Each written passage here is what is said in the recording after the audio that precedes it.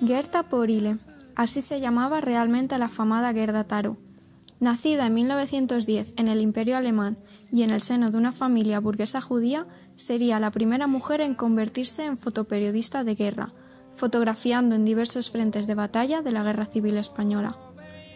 Este conflicto fue uno de los capítulos más importantes para la historia de la fotografía, siendo el primero que tuvo cobertura por parte de la prensa y de reporteros de todo el mundo.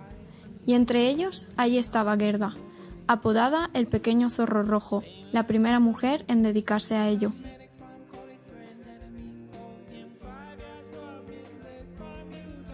Antes de llegar a España para cubrir el conflicto, fue perseguida por el nacionalsocialismo que se había instalado en Alemania en 1933. Fue detenida ese mismo año por hacer campaña contra el gobierno nazi, lo que obligaría a toda la familia a buscar residencia fuera del país. Tras esto, consiguió escapar a París, donde descubriría su pasión, la fotografía.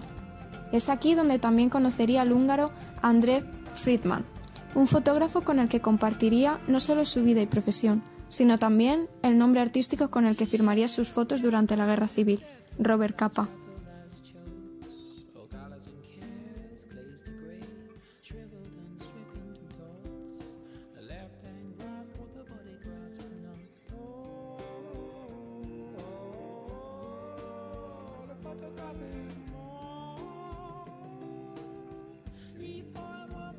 A pesar de que se suele asociar Robert Capa a André Friedman, la realidad es que las fotos publicadas en nombre de Capa eran realizadas por los dos, y es realmente difícil saber cuál fue hecha por uno o por otro.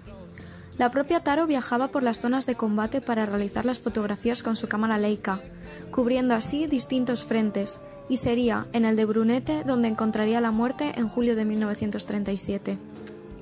Muchos afirman de ella que no solo era una fotógrafa talentosa, sino la primera fotoperiodista que además murió en la guerra, en plena acción, demostró la capacidad de vender su trabajo bajo un seudónimo masculino, pero también el riesgo que suponía que su legado fuese absorbido por el nombre de un hombre más famoso.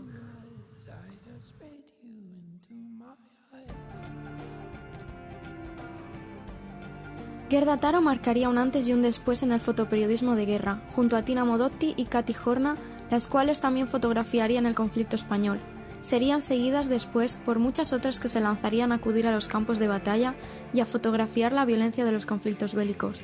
Taro fue la primera, pero no la última.